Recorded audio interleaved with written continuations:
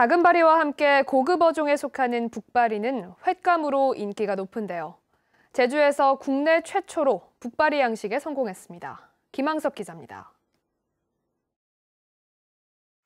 온몸이 붉은색을 띤 물고기들이 수조 안을 힘차게 헤엄칩니다. 쫄깃쫄깃한 식감으로 최고급 횟감으로 꼽히지만 고갈 위기에 있는 어종인 북발입니다. 도내한 양식 어가에서 북발이 치어 3만 마리를 들여와 양식을 시작한 것은 2016년 11월. 이 가운데 7천 마리가 상품성이 있는 1.5kg까지 성장했고 최근 본격적인 출하가 시작됐습니다.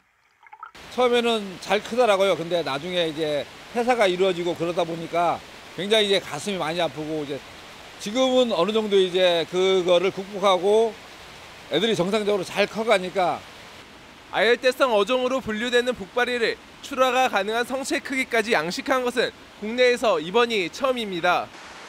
4년 전 제주대학교 해양과학연구소가 국내 최초로 북바리 수정란 대량 생산에 성공하면서 양식의 물고가 트였지만 수온 조절이 어렵고 성장 기간이 길어 국내에서 양식은 어려웠습니다.